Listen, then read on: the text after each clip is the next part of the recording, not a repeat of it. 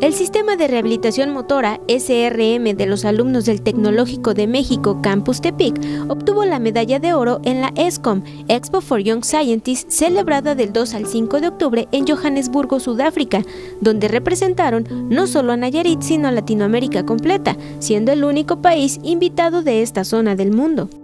Ha habido propuestas de inversión por parte de inversionistas a nivel nacional, eh, continúa la parte de intentar ya sacarlo al mercado y desarrollarlo como un proyecto Nayarita y que vaya al mundo y,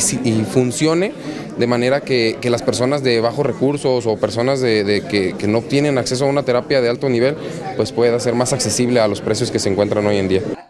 Omar Becerra, Mayrín López y Fernando Becerra, apoyados por sus profesores, desarrollaron esta tecnología que incorpora realidad virtual para ayudar a la rehabilitación de personas que sufren algún tipo de parálisis en las piernas y que surgió luego de ver a uno de sus familiares con dificultades luego de sufrir una embolia. Este último prototipo se realizó en un año, seis meses más o menos, aproximadamente desde la parte de diseño hasta la parte de pruebas. Depende de la lesión, depende de la persona y la edad, pero sí se optimiza hasta un 25 o 50%, depende de la lesión y la, enfermedad de la cual estén